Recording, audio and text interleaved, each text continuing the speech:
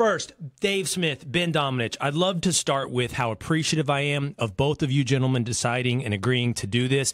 I think that here in America, we are living in a world where we are constantly inundated with one sidism and propaganda, and the idea of an exchange of ideas is so rare. And I just appreciate you guys doing this here with me today. I think it's not only going to be uh, entertaining, I think it's incredibly important. So I texted both of you guys. I reached out to both of you guys.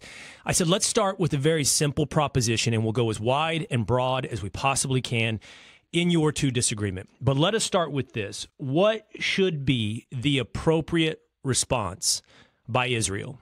Ben, I'll put that to you. What do you expect? What do you think is right in a response from Israel?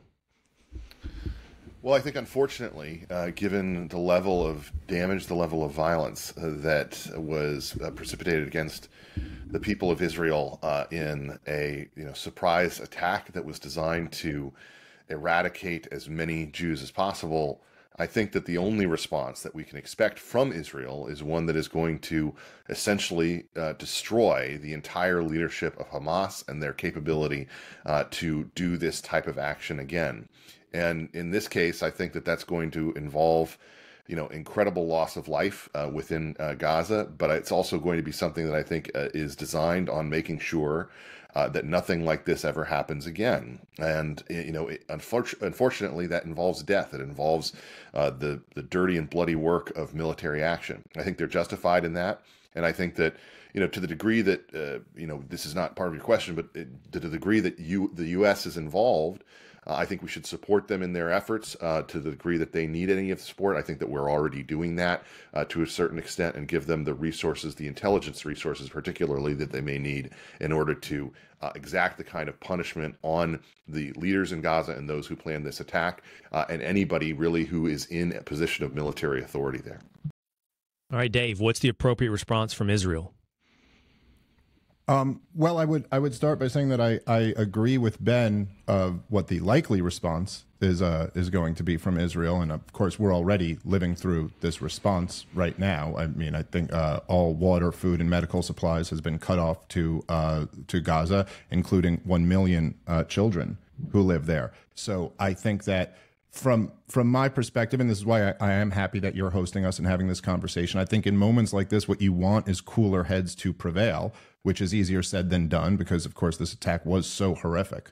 Um, and of course, we can think back to 9 11 when cooler heads did not prevail in America. And in fact, we were all told now is not the time to question how there was this monumental failure in, uh, in leadership. So um, I, I would like to see a response where as few innocent um, civilians die as possible.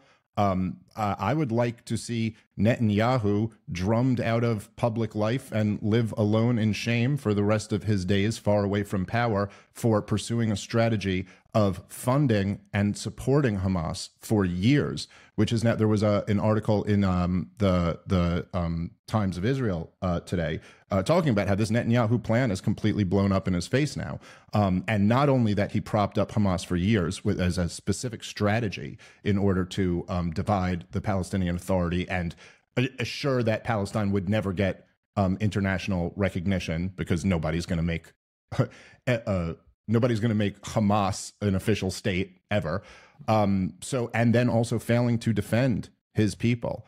Um, so I, it, it's a horrific failure on many levels. I'd like to know a lot more about what actually happened here. I think this was one of the problems immediately following 9/11 as well, is that there was no effort to actually figure out how there was such a monumental failure, who exactly was is, is involved in this you know, 15 years later, we learned that actually high level members of the Saudi government were somewhat involved in 9 11, and that hasn't stopped us from funding them and propping them up ever since. So, how exactly did the most militarized, the most prepared country in the world have hours of no response time to this horrific uh, uh, terrorist uh, atrocity? I'd like to find out some more about that.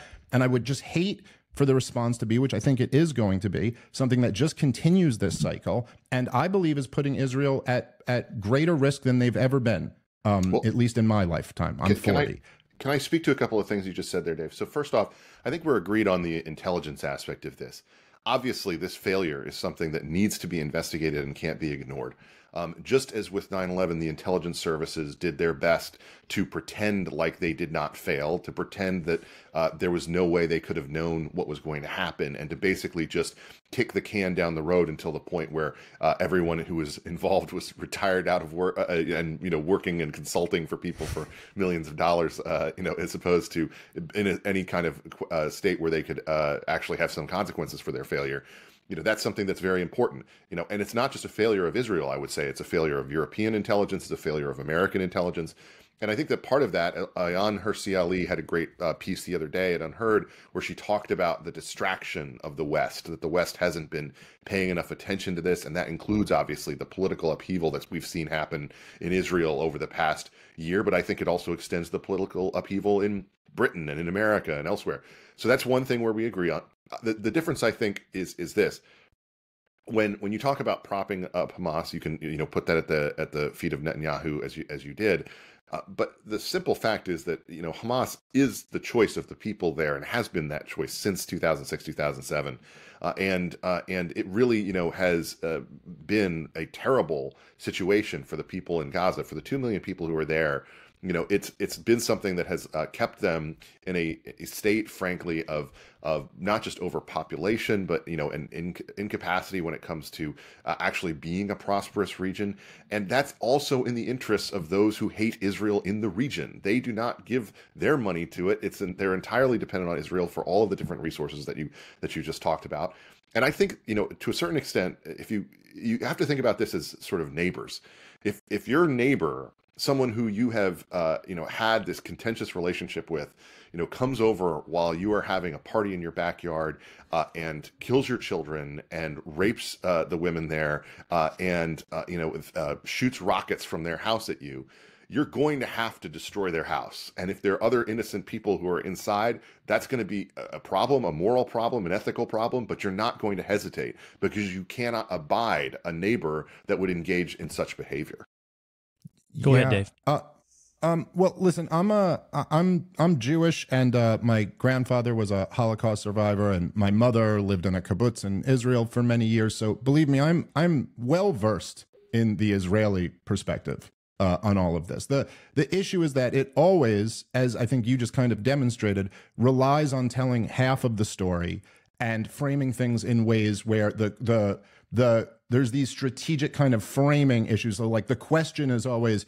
Does Israel have a right to defend itself? What should the Israeli response to this be? The question is never asked Does Palestine have a right to defend themselves? What should the Palestinian response be to the wildly disproportionate number of innocent Palestinian civilians who have been killed? That question kind of never comes up. So, your analogy, where there's just these two neighbors, and for some reason, I guess they're possessed by evil, one of the neighbors keeps on being a jerk to the other neighbor is, let's just say, incomplete at best. And what actually is happening would be more like you won a war against your neighbor in 1967 and decided that you have the right to occupy your neighbor forever. And now, in these desperate, uh, in the most desperate circumstances, yes, Hamas did narrowly win one election while you were helping them win that election, you know? And then now a million children who didn't vote in this election at all, this election of, of uh, almost 20 years ago, um, that and, and there's just a million kids there, and all of their rights are supposed to be completely suspended. We are supposed to say that because, you know, like just just saying this argument that they won an election, therefore their civilians are are fair game is just saying the identical argument that Osama bin Laden made. Well, and I think it was wrong when he made it, and I think it's wrong when other people make it. That somehow civilians are responsible for everything their government does that's bad because there was there were elections. Well, really quick, that's, Ben. That's not. Hold on, just one moment, Ben. I want to I want to pause because we're going to spiral and I don't I don't mean that in a negative context. We're going to spiral into history and I want to do that here today. But I don't want to leave behind the points that have been made regarding our current debate and our current context. And Dave, you point out we always ask the question from the Israeli perspective, half the story. What should be the response from Israel? But I think that's the appropriate question today because it is in response to, I think, a universally condemned terrorist attack over the weekend. Now, you intellectually, Dave, want to pursue how we arrived at that moment. I think not only is that fair, but I want to make sure that happens here today. But I want to also complete the thoughts on the current political environment Ben, Dave brings up what he hopes will come back to the military response. What he hopes will be a political response to this moment and the accountability for Netanyahu. And I see two sides to that, two issues we need to have a conversation about. And that is Netanyahu's embrace of Hamas over the last several years, but also what looks to me it's almost too easy to explain away what happened as a failure. We're talking about the most militarized border in the planet the most sophisticated intelligence agencies in the world, not just Israel, but as you pointed out, Ben, Europe and the United States. It is really hard for me to believe or understand or just wholeheartedly accept that this was simply a failure. I believe the attack went on for six hours before there was even a response from the Israelis. And that's just highly suspicious. Ben, and I'm not I'm not going down a conspiratorial rabbit hole, but if if if Dave is right, that is a place we need to begin with accountability. Like, how do you explain that? I'm not sure failure does it justice. Well, I'm not sure failure does it justice either, but one thing that I think we should keep in mind is you know, we've lived through in these past several decades some of the biggest intelligence failures uh, that we've seen in terms of, you know, not just uh, uh, allowing attacks to happen, but also I would say, uh, you know, I suspect at the end of the day, when we look into this, there will be there will have been awareness of the planning and the entertainment of the ideas of, of this type of attack. Uh, but we've also seen, frankly, intelligence experts dismiss that ever happening. You know, the idea that, you know, something, well, they're talking about this, but they're never actually going to do it because of the consequences that would be involved. That's something that we see time and again. And I think that that's something that we need to keep in mind uh, is a very real possibility here. Uh, but but just to the political aspects of this, you know, I, I think that there is, uh, you know, unfortunately, a, a, reality that we have to face here that the the the people who have wanted to have an appeasement po- uh, policy toward uh, Iran uh, over the last, you know, uh, two decades plus have essentially been the people who've been in charge. Even under the George W. Bush administration, you know, they made a real choice to, you know, look the other way when it came to uh, Iran and, and all of their different activities. Uh, obviously, you know, that was the policy for eight years under the Obama administration. The same people are in charge under the Biden administration uh, today they've looked the other way at the same time that you know Iran has been you know the greatest funder of terror around the world uh, and that is unfortunately, I think, something that we have to grapple with, you know, on the American side politically. Uh, and, you know, frankly, the, the only exception to this uh, is the four years under uh, Donald Trump, in which their attitude was uh, that they would regularly, you know, hem in uh, Iran and kill their military leadership. and we actually had a pretty quiet four years during that period. and so I think that the actual attitude that we should have as Americans toward this is more about, you know, what did we do on, on our part to elect leaders and to support a foreign policy blob that has essentially been in charge of our policy toward Iran uh, for most of the past 25 years? Hey, yeah. Dave, could, could I, I, don't want to take that? for um, granted. I'm going to let you jump in on anything you'd like, Dave, but I also would like to push you in this direction. I don't want to take for granted that the audience knows as much as either of you two gentlemen this is an incredibly like confusing story for your average viewer and your average listener because of its cycle of violence that has gone on for 75 years longer, uh, just from a nation state political perspective for 75 years. But you pointed out Netanyahu's embrace of Hamas, uh, Dave, is the other point of accountability for Netanyahu. And I'd love for you to kind of put more flesh on those bones. I mean, Netanyahu. Uh, ben is right. I mean, Hamas was a democratically elected uh, governing body of Gaza once, um, and then and then embraced by Netanyahu in either a failed attempt or a straw man attempt to create a Palestinian a Palestinian state.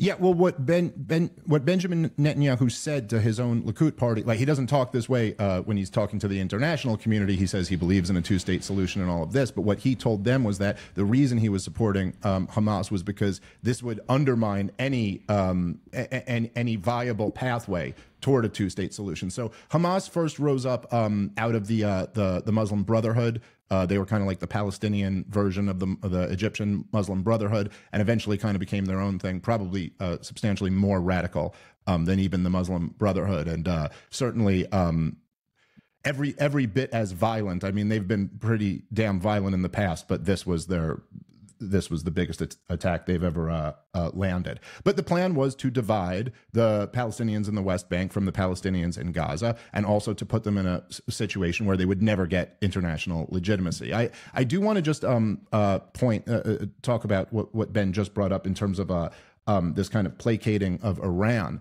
Um, I I wish it had been the case that all the Americans did during the George W. Bush and Barack Obama years was look the other way. In fact, what, what happened was that George W. Bush fought a war in Iraq that in effect was on Iran's behalf, taking out their, their rival in the region and handing the country over to the Shiites. This is also why Obama then started funding a stupid war in Syria to try to kind of reverse um, the fact that all of these countries were now allied and Shiite dominated. And, you know, I, I don't know. I, I know that it gets said a lot that Iran is the the world leading sponsor in in terrorism. I'm I I've never actually seen concrete um, like proof of this, and I would really I would be interested to to um, to actually measure the amount of U.S. dollars that have gone, like our tax dollars that have gone to supporting terrorism, and the amount of Saudi dollars that have gone to supporting terrorism. I'm not even arguing that maybe Iran is still number one, but I think it's a much more competitive uh, game than than we give it credit for. But so it's not just that we um,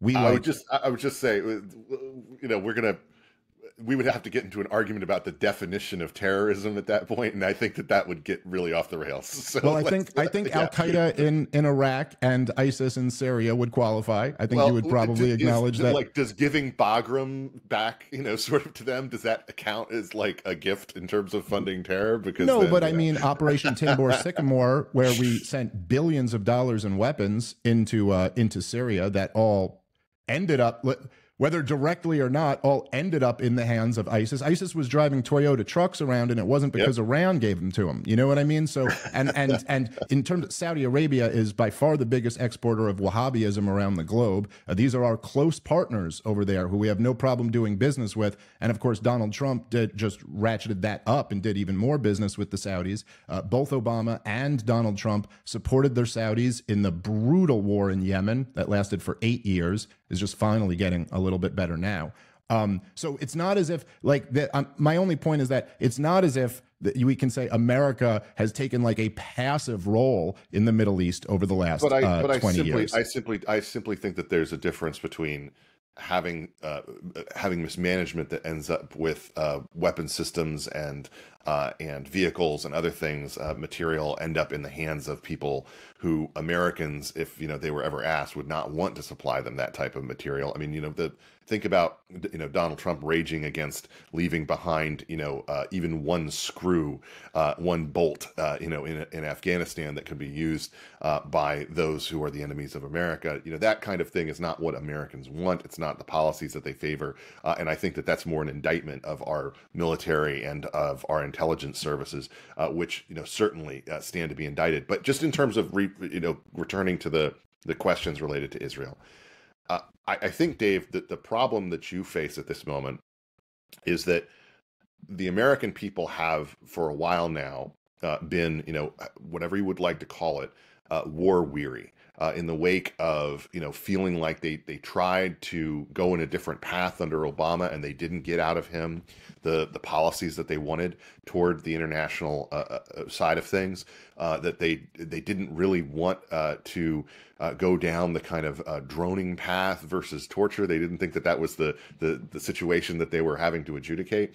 And then they went into they tried something very different with Donald Trump and now that they've returned to kind of the mean returned to the foreign policy blob I think that one of the things that's uh, very true in this moment is that whenever you see this type of activity, uh, this type of attack, this type of brutal uh, murder of people in Israel, uh, it it completely ends any of this kind of uh, populist uh, sort of dancing with uh, res- quote unquote restraint or what its critics, its neocon critics would call isolationism or anything like that. I mean, what you saw Josh Hawley and people like that putting out over the past week is you know essentially not we need to spend less money uh, uh, you know on Ukraine and it's more we're going to spend all that money on Israel now instead.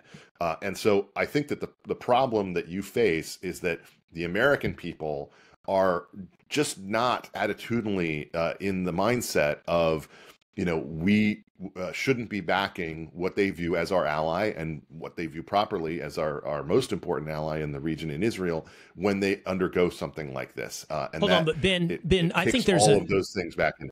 I think your point on the hypocrisy of the American right or the new right in, in this moment is very well taken, and it's an accurate observation, Ben. But on the other hand, I still think there are some very principled people out there that ask what I think is the most important question in any one of these moments. How does whatever we choose to do serve America first? And I, I don't mean that as a, a, trite political, you know, slogan. It, it's it's to me, and maybe I'm tribal and my tribe is America, but but but to me, that's the first question. And you know, that's a, that's a question that personally I feel Ben was never sufficiently answered, has not been sufficiently answered when it comes to Ukraine. I'm not an isolationist, Ben. I need you to answer that hmm. question with clarity. And I don't think you can hide behind and I'm not saying you're doing this, Ben, but I think this is a rhetorical trick that is yeah. done all too often. But hide behind, you know, accusations of anti Semitism or whatever it may be to ask that very same question when it comes to Israel. How does our path serve America 1st mm-hmm. Well, I think that, uh, I first off, I would say America uh, is, uh, you know, our interest in the world uh, should be one of, of global stability in which America is in charge. That's my own perspective. I don't like the idea of uh, a, a, situation where another world power is in charge. The fact that China, for instance, is engaged in the type of behavior that's that it is in, you know, I'm very much opposed to the idea that uh, having China in charge of global trade is something that would be good for America or good for the West. And so from that's just a very I mean it's a very basic kind of frame of things, but you know that's the thing that I think ought to be our priority when it comes to our alliances around the world, I think that we need to be a reliable partner, and particularly when it comes to a nation that has gone through its unique history as Israel has, uh, in which they have you know so many foes that surround them, and that you know are bent on either their eradication or their undoing. You know, it, it's not very complicated, I think, when it comes to our attitude towards Hamas. When you have you know the kind of statements that come out of of their leadership over the past uh, many years. You know whether it's regarding uh, you know their their support of uh, you know the the freedom fighters of Osama bin Laden and the like. Uh, you know I think it's a pretty clear cut thing. But you know when it comes to you know the overall uh, American attitude toward the world. I just, you know, think that it's very important that America be able to control its own destiny. Uh, you know, uh, have the kind of global trade, the safe global trade that has made us as prosperous as we have, uh, and then be a reliable ally when it comes to uh, the uh, the attitude we have towards our allies when they are attacked. Dave, I want to push you on something really quickly. So when I listen to Ben talk, and I and I hear you guys have this debate about Iran versus the U.S.'s funding of of of of terror. And I appreciate Ben's response. Depends on your definition of terror, or that's an important debate to have about your definition of terror. But I actually get your practical response as well, Dave. About look, if you can look at any two sides of a war, there's a good chance American dollars are funding both sides of that of that war. But one thing I, I noticed with you, Dave, is I feel like in some of your approach to this, and I say this humbly, Dave, and I want your honest response is that you don't seem to distinguish between intentionality and accident. You know, like Ben's goal of having the United States kind of in charge of the world, I think lacks a certain level of humility. Um, I, that's my honest belief, Ben. I mean, can you actually control the world? But on the other hand, you know, whether or not it's, you know, civilian deaths in Gaza versus the rape and killing of children in southern Israel or the the accidental incompetent funding of terror on various sides of a war versus the intentional Iranian funded terror across the world. I think that I feel like in, in this analysis, often, Dave, you're not distinguishing between somebody intentionally inflicting acts of evil and those through their own lack of humility and incompetence stumble into acts of evil. Well, I mean, it's not. I, I, do think there are areas where we can distinguish that. It's just that, in effect, they end up causing the same result, no matter what your intention is. And also, when we're presuming intentions about people, we're really kind of just playing a guessing game of trying to get inside of their head. I mean, I, I listen. The idea that every every one of these wars that we've fought, let's say, over the last twenty years um, and so you could count obviously Iraq, Afghanistan, Syria, Libya, Somalia, Yemen. We're now funding the proxy war in, in Ukraine. I mean, there are think tanks who are funded by weapons companies who come up with policy papers on why we need to fight these wars. Now, am I supposed to just presume that this is all just an innocent mistake? And of course, all of these people really want, you know, like Lockheed Martin just really believes in funding a think tank that says we need to buy another $200 billion worth of weapons from Lockheed Martin. I don't know. Um, I'm looking at actions here and saying this is the result of these actions. So, by the way, I don't think there are cases where you're probably right, where there is, there should be a separation of things that were, you know, um, horrific things that happen due to incompetence versus maliciously rooting for those things even, to happen. But um, but, but Dave, but what about the current situation? So what, what about the current situation? And we maybe in this situation we don't even we don't chalk it up to incompetence. Ben started out today saying it's really sad, but it's the byproduct of war. Civilian deaths will happen in Gaza. I think everyone has lamented and acknowledged that reality, but it won't be the it won't be the target of the Israeli military. They, they won't. in fact, they will probably doing everything they can to limit that practical outcome. Whereas it's not a moral equivalency to compare that. And I don't think you've done this, Dave. But I mean, I, I, it's it's in no way comparable to what Hamas just did in southern Israel. Well, this is a the, the thing that you get whenever you talk about the um, the Israeli Palestinian conflict is that, and I think these are um, I, I, the Israeli side of this, and as I said, I've grown up immersed in it. They are have been unbelievably successful at repeating things often enough that everybody else kind of repeats them and framing the conversation in a way where like uh that that term that you just used which i don't think I, you said i wasn't doing but the moral equivalency thing gets right thrown out all the time if you just mention you know there's this term both siderism and moral equivalency where if you even just mention any of the crimes that israel's committed they're like oh now you're doing moral equivalency so you see the framing of this is we have to talk about this fair. conflict but we can only well, talk about one side of the conflict. If we talk well, about well, the wait, other wait, side wait, at all, uh, well, hold on. Let me just finish this okay, point, sure. and then I'll, I'll be here. But listen, I, I hear this said a lot that Israel would never target civilians and they do everything they can to not target civilians. This simply is not true. And I would I would ask anyone who's listening to this who wants to ask, go Google mow the grass. Go listen to the Israeli military in their own worm, words what their uh, what what their strategy is here. You can look at Max Blumenthal, who's done a lot of firsthand reporting on this. There have absolutely been numerous instances where Israel has targeted civilians. And I'm sorry, but cutting off the food, water, and medical supplies to 1 million children is targeting civilians. You understand that as you're bombing this place, children are going to be injured and now can't be treated. This is, uh, it's a horrific uh, uh, targeting of civilians. So again, I'm not saying it's the same thing as what Hamas just did. What Hamas just did was so much more primitive and brutal and barbaric. But Israel is doing something here too, and to a much larger number of people. And I don't think it's fair to describe that as as doing everything they can to make sure that innocent civilians are not are not hurt. Well, well uh, first off, uh, I, let me just uh, put put my little flag out there. I do not want to debate uh, the authority of Max Blumenthal, but I would take issue with his reporting. Um, but uh, put that aside the the both sidesism thing, I think let's let's look at it in a different context than Israel, just so that we can uh, have some determinant here of where it goes too far. When you had that first meeting between China uh, and the Biden administration in Alaska, and you saw the Chinese uh, authorities come into the room, their diplomats, and start sounding uh, no different than the progressive left, than BLM, than you know, pick your group in terms of their assault on American moral authority uh, in saying, you know, you say that we are a prison state, you're a prison state.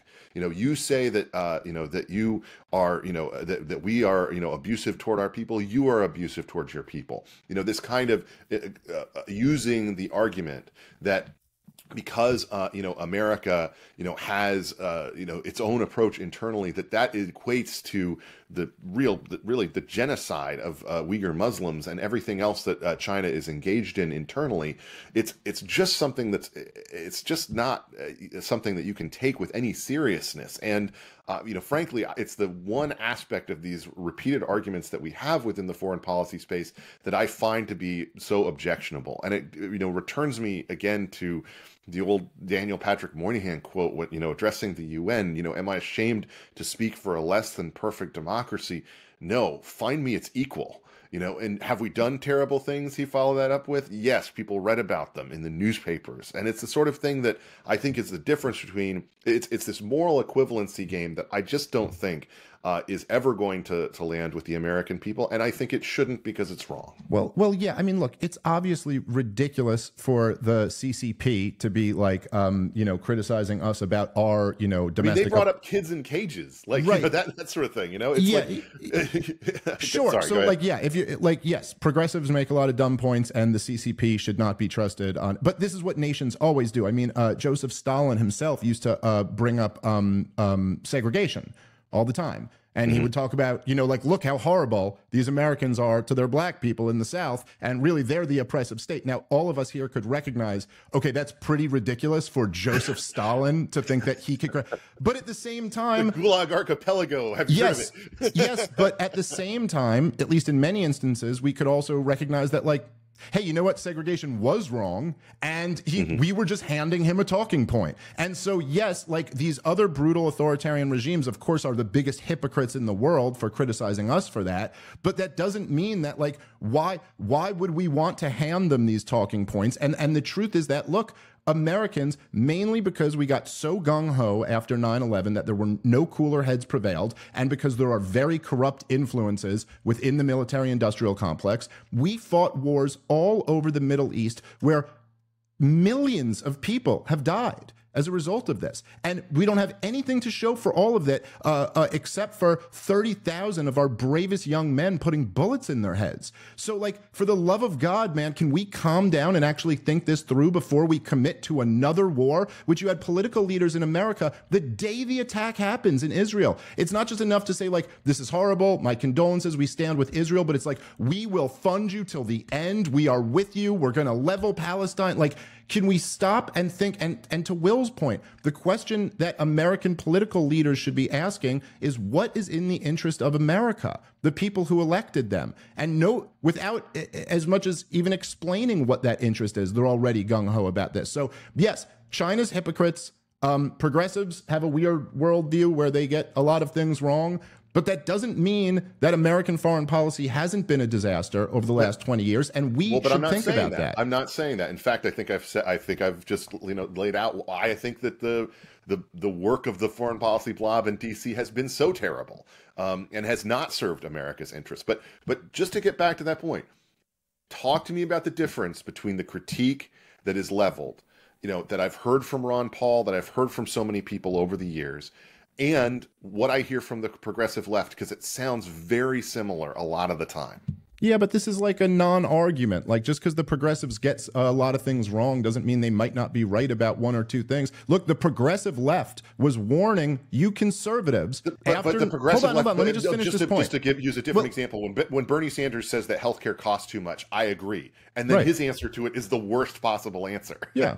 yes. No. I okay. So I agree with you on that, Bernie Sanders. I completely agree with both of those things. Um, but look, it was progressive uh, progressives and leftists who were the ones who were ringing the alarm about the Patriot Act and the creation of the Department of Homeland Security and the war in Iraq. And let me tell you something, conservatives, it doesn't it, it would uh it would suit you to, you know, take a scoop of humble pie and go, now that right wingers are the targets of the Department of Homeland Security, maybe I, they had a point. Maybe I'm they not, were right I'm about not, that. I'm not disagreeing so, with you, but I do have to point out that the Democratic Party and the Republican Party were 100% in lockstep, and the American people were behind not just the Iraq War, but the creation but that, of all. But that's always entities. the case. Today's yes, point. The, today's otherwise. First, hold on, really quick. History.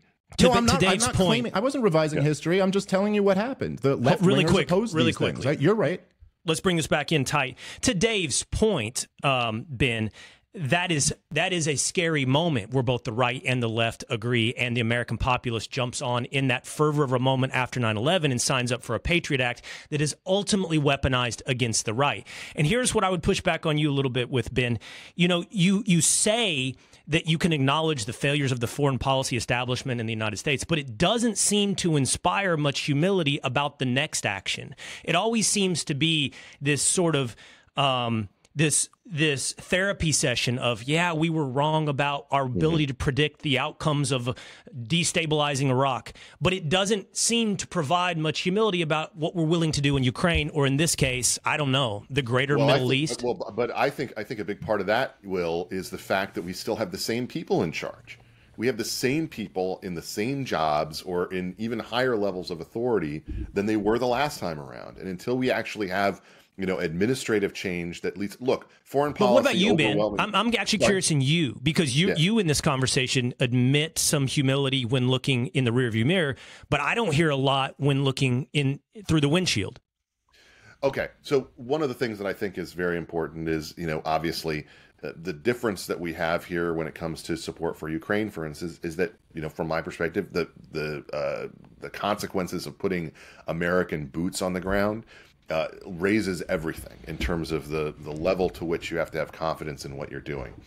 Funding Ukraine uh, in this war is funding, uh, you know, I think uh, an incomplete ally in a lot of in a lot of different ways. Uh, you know, and uh, frankly, I'm my own attitude is that we ought to be funding them to the degree that we can focus on ending this war as soon as possible, decrease the loss of life, uh, come to a conclusion as quickly as possible, but also come to a conclusion that, you know, frankly, does not allow an adversary in Russia to get whatever they want. And I think that unfortunately, you know, this this war is a messy one that has uh, gone on far too long. Uh, that the Biden administration has kind of played this meandering game when it came to giving Ukraine uh, what they needed in order to end it. Uh, and you know, we the F-16s aren't going to even be on, you know, in the field of play for another six months at this rate, um, you know, and we've got to teach the pilots English first. So it's one of the things that I think, you know, ha- goes back to the idea of, you know, a lot of the times the the foreign policy establishment that we have, uh, you know, in this country, you know, operates through a domestic lens that doesn't necessarily put them in, in a position that can actually reach the conclusion of these uh, types of conflicts as quickly as we would like. Uh, you know, in terms of the people who are in charge right now, though, again, I have to get back to that. We have the same group of people. I mean, you know, the, when Bob Gates, you know, Secretary of Defense, went out there and said, uh, you know, that Joe Biden has been wrong, has been on the wrong side of uh, virtually every foreign policy issue during his entire career. He wasn't wrong, and I think that that unfortunately we've put these same people back in those positions. You know, Victoria Nuland and everybody else, you know, who's part of that blob establishment continues to operate. And uh, yeah. you know, really, again, the only exception that we had to that was the Trump years, because you actually had some outsiders get in there uh, who could do something different. And frankly, and I don't, I don't think to, you can make you know, that point without acknowledging Dave's point of the constant presence of the military-industrial complex. And it's yeah, and but it's, I also I also think that's not going to go away anytime soon. I think that's an intractable problem. Well, that's a problem. Um, yeah. Dave, I, I, want I want to press you on something now. You know your point about sort of your, you you make almost a biblical point of like don't look at the speck in your neighbor's eye until you address the log in your own. But I, I want to talk about the practical effect of that. Like you pointing out our moral failings here in the United States, or as a proxy, Israel, uh, and we can keep. I don't. It's kind of weird in this conversation how we we we we quickly switched to talking about the United States, which I wanted to anyway, but it's almost like we use them as one and the same in this debate. And and I don't consider them one and the same in this debate. But but your point, Dave, I, wonder, are you making the argument that there are no good guys and bad guys? Like, are all civilizations equal in your mind? Or is pointing out the failings of one, what's the point? Is it an argument that we should be more perfect? Yeah, I think everyone agrees. We should strive for more perfection, but we're not going to achieve it. And we can't be paralyzed by our own imperfections in, in looking at other civilizations that have not arrived at that similar level of moral morality. And so, I, I mean, I feel like you uh, your point is well taken on so many of these like no, nobody can argue Israel is perfect. Nobody can argue the United States is perfect. But what do we do with that in the end? Do we sit here and go, there's no good guys and bad guys?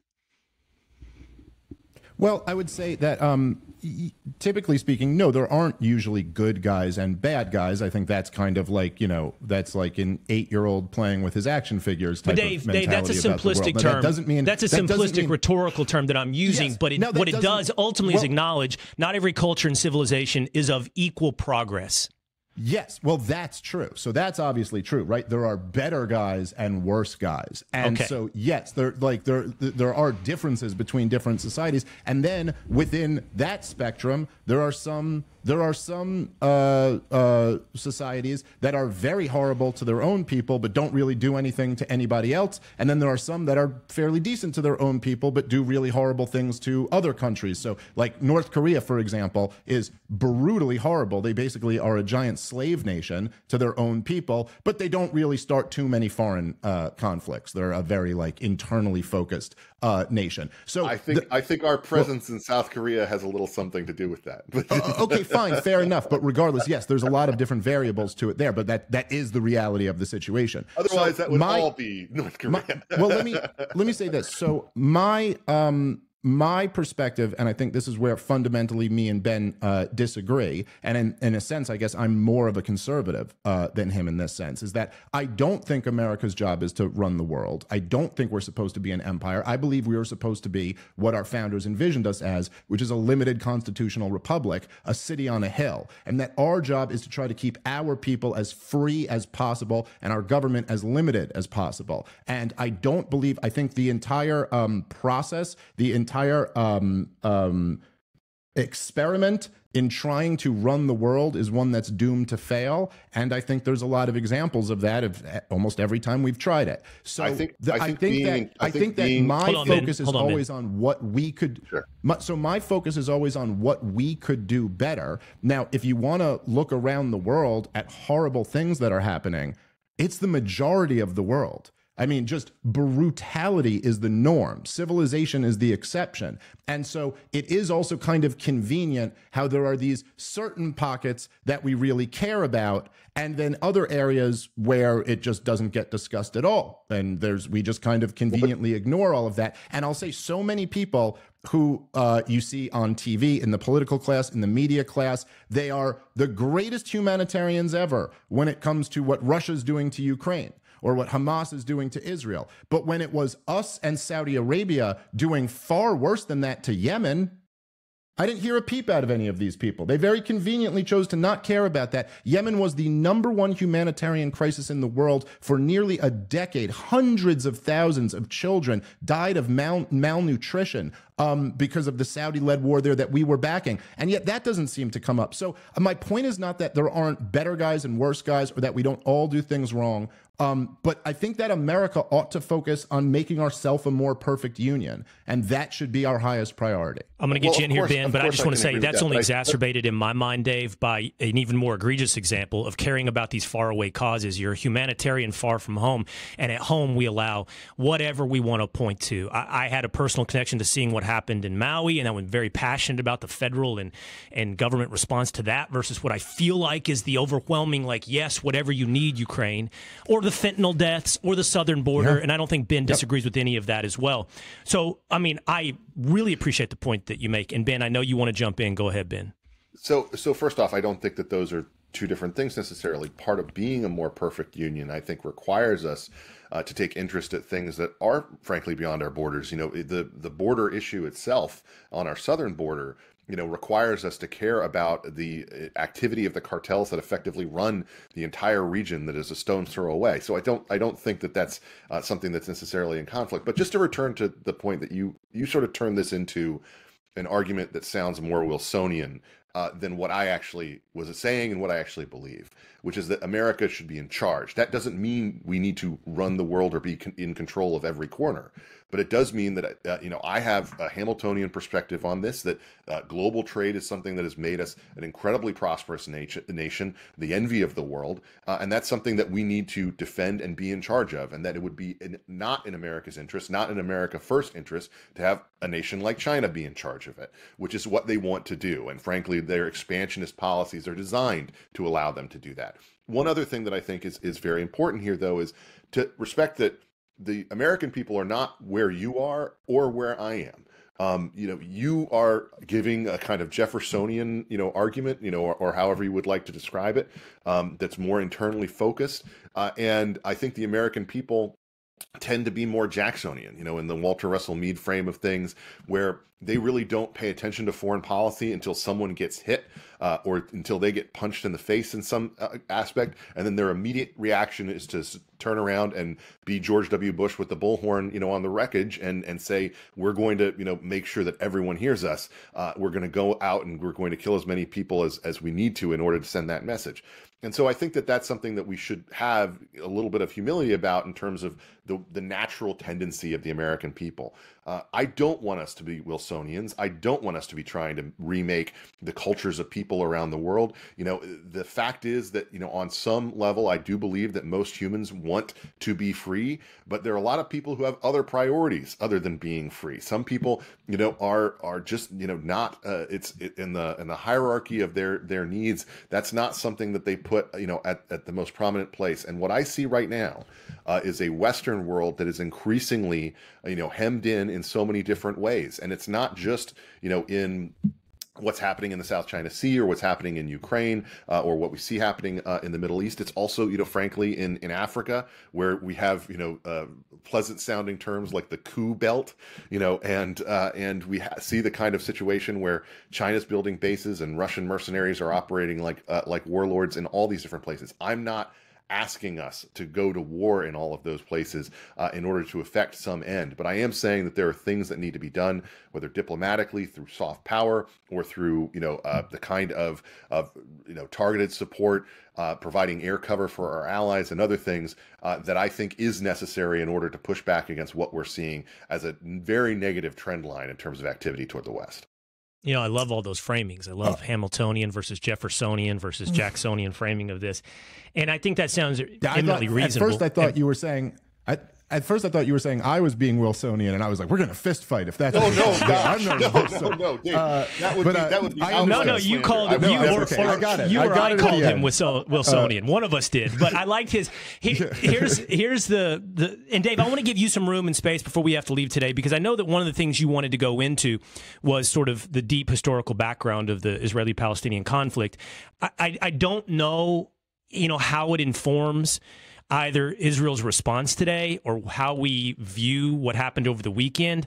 But I know that that context or history is important to you, Dave.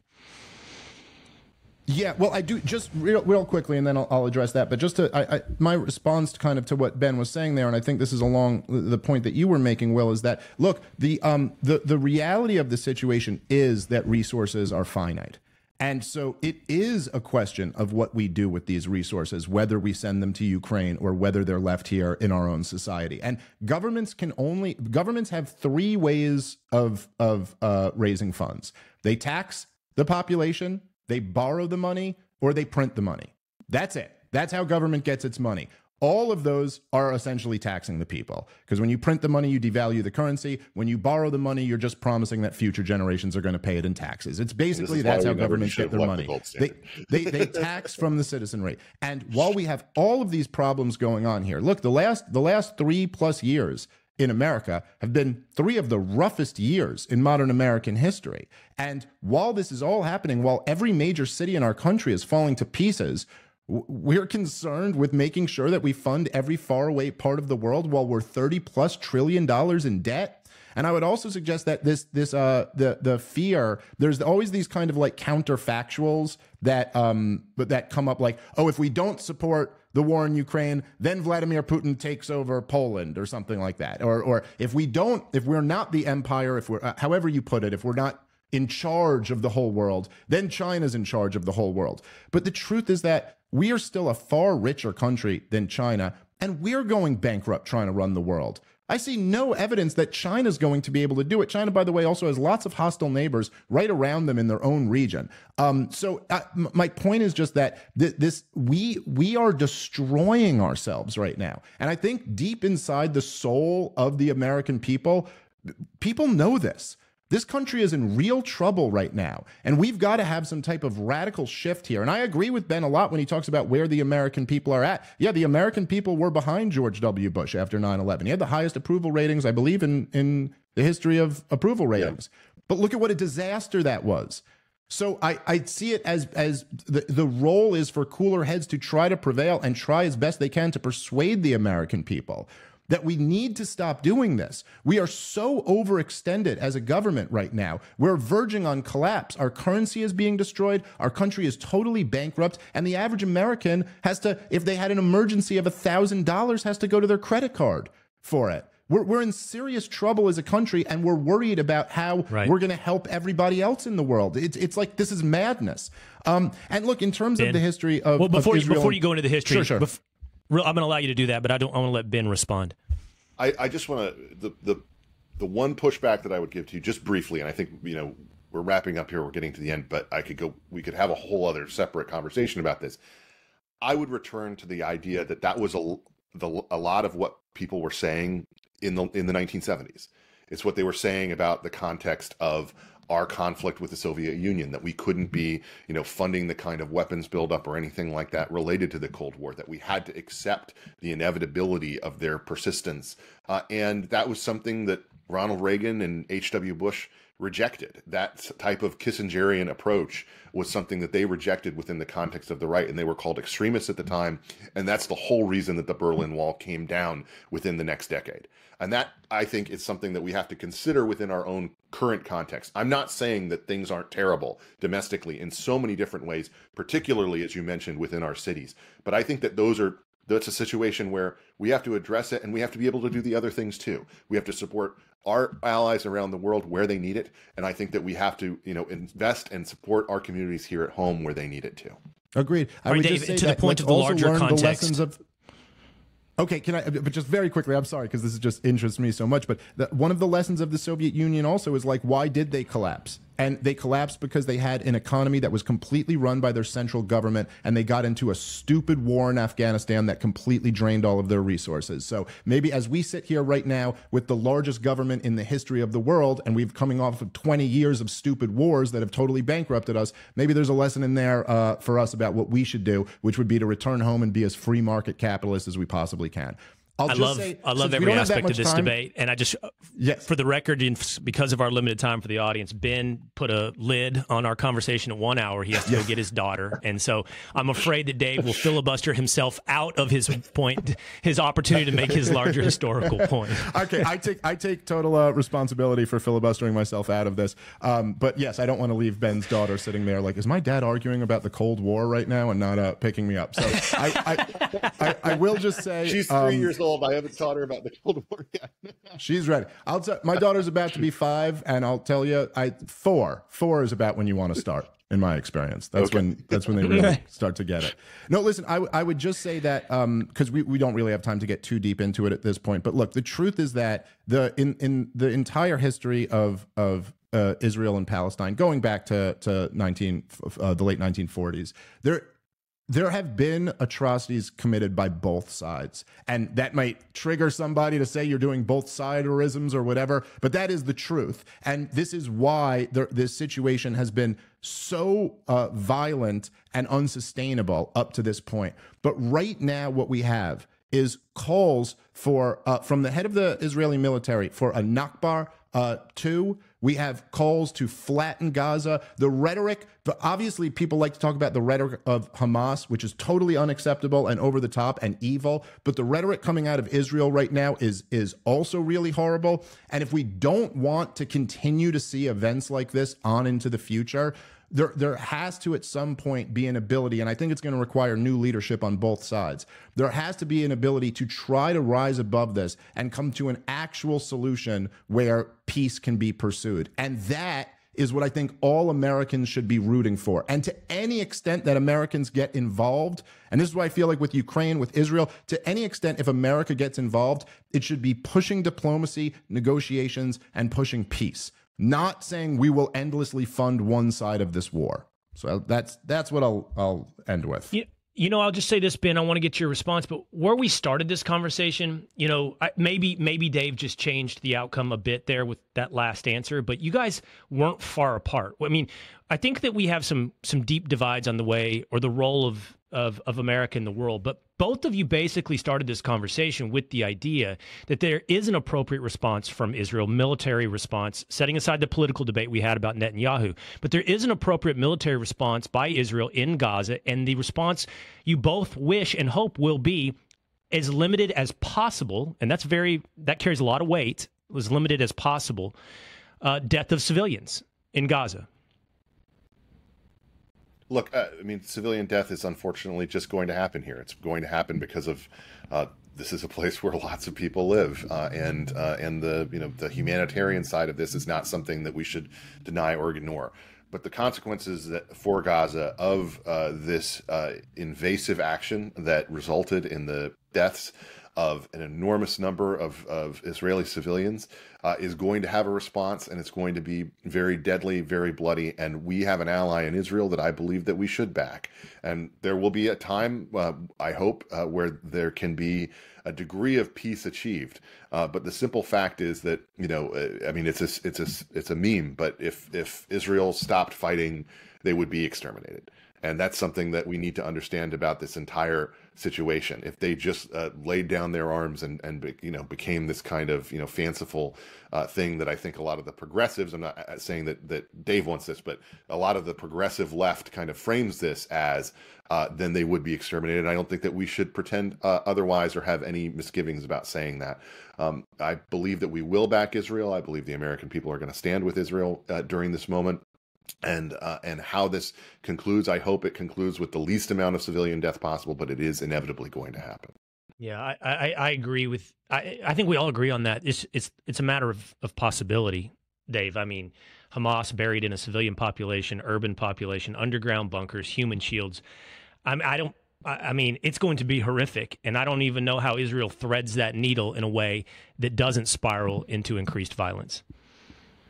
Well, it doesn't seem, at least from their initial uh, response, that they're doing much attempting to uh, to thread that needle. But yes, it's a it's a very difficult situation. I think Ben is absolutely right when he says that Hamas just um, sentenced their own people to just in, uh, an excruciating amount of of violence, um, and that their their actions have uh, all but guaranteed just enormous um, death of, of innocent Palestinians. That being said, I, I would hope that Israel would keep in mind, and I'd hope America would learn the lesson that, you know, the entire point of terrorism is to provoke a reaction. That is the point. The Osama bin Laden never thought that taking down the Twin Towers was going to bankrupt America, but he thought that the response to him taking down the Twin Towers could bankrupt America. And this is what the CIA helped train him to do to the Soviet Union. And this is what he was attempting to do for, uh, to us. And of course, we fell right into the trap with two 20 year catastrophe wars. And I think what Israel, I, I hope that Israel would understand the true risk to them right now. I mean, when they talk about leveling Gaza and, and destroying, you know, an area that has a million children in it, I know it hasn't. I know other uh, Arab countries haven't invaded Israel since 1967, but this also hasn't happened. And if they really do take it to that level, they might be putting their own existence in jeopardy. This is the point of terrorists, right? This is the point. Hamas doesn't care that innocent civilians are going to die in, in Gaza. In fact, they're attempting to provoke that reaction. They're attempting to provoke this overreaction so then they can rally other people to their cause. And it would be it would behoove America and Israel to think about that. Yeah. Last word to you, Ben.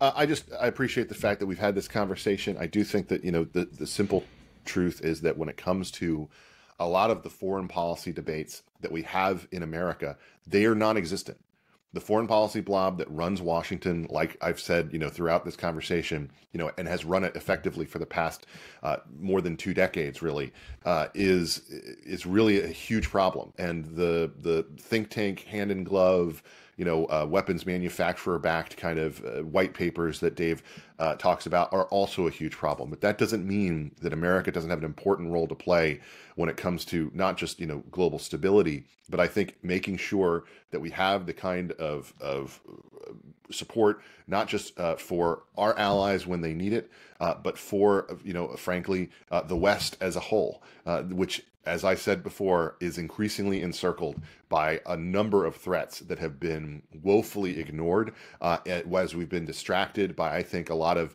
of conflicts that, frankly, we should not have participated in.